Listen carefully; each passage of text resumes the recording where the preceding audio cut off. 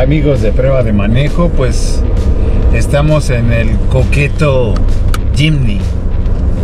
Y digo coqueto porque esa es la palabra que he escuchado mucho con los colegas de la prensa acreditada. Y, vaya que lo es. Este Jimny eh, Off-Road de Suzuki. Que bueno, pues la verdad es que ya hacía falta eh, llegar a, México. Eh, pues la verdad es que sí, sí cumple con mis expectativas, al menos, al menos de mi parte.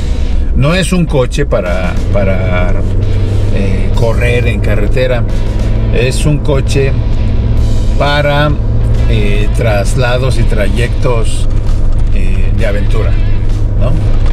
Si bien, si bien, pues su, su, su venta o su consumo va a ser en ciudad, pues la verdad es que sí se antoja traerlo, traerlo por todos lados. Ahorita vamos rumbo a Tapalpa, pero agarré la ruta de Atemajac de Brizuela, aquí en Jalisco. Y bueno, pues son una serie de curvas y pendientes muy padres, eh, pues también para someter a prueba su, su, dirección hidráulica, su suspensión. Eh, y bueno, estoy con una versión automática, es 4x4, pero pues es automática. Y pues sí se siente una, una dirección este, muy, muy, muy eh, acorde a esta cartografía eh, aquí en, este tramo. Es un, es un tramo, eh, es una brecha de dos sentidos nada más, dos carriles, dos sentidos entonces este, se tiene que manejar con cuidado porque pues no se puede, no se puede rebasar. Eh, al menos aquí hay un trámite donde aparentemente puedo rebasar, pero no lo voy a hacer porque pues sí, sí está este. Sí está muy raya continua, como le dicen. Bien, les platicaba yo de este, de este auto, pues 400 eh, eh, mil pesos, más menos eh, un consumo eh, combinado me parece eh, también muy decente 14 14 kilómetros por, por litro. Y bueno pues lo importante es que le viene a competir a, otros modelos off-road como la Jim Compass.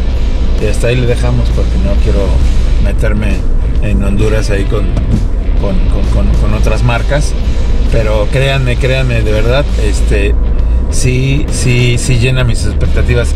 De por sí que Suzuki es una marca que, pues, eh, busca siempre eh, llenar el tema de, la experiencia. Lo mismo me ocurrió cuando me subí por primera vez al, Swift, Suzuki Swift Buster Jet, eh, que parecía que estábamos en un go-kart.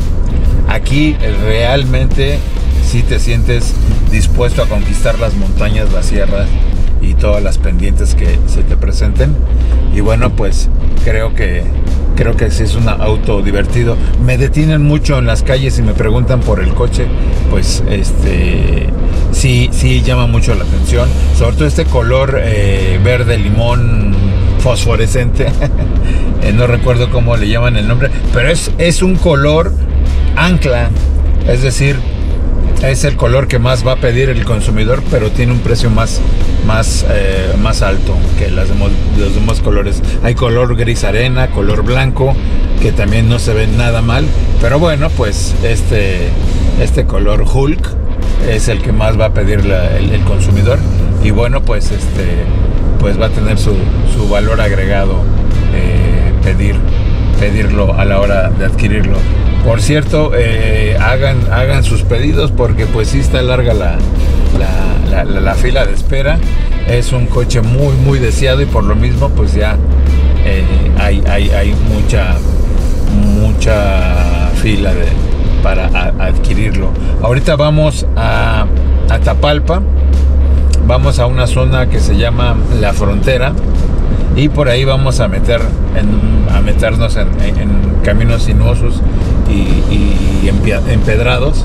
Y bueno pues ya estaremos compartiéndoles también algunas imágenes. Por lo pronto eh, este tramo de Guadalajara a Temacar de Brizuela pues me ha parecido muy muy confortable y me ha llenado mucho este pues esta esta prueba de curvas y pendientes aquí en esta en esta carretera. Continuamos aquí en prueba de manejo